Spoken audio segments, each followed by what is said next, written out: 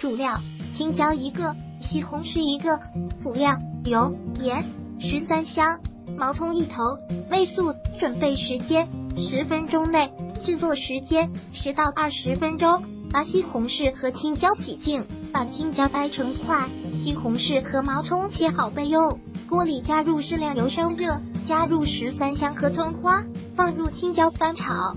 青椒炒至断生，放入西红柿，加适量的盐翻炒，把西红柿炒软，放入少许味素翻炒均匀即可出锅。烹饪技巧：喜欢吃硬一点的西红柿就少炒一会，喜欢吃软的就多炒一会。如果喜欢本视频，请分享并订阅本。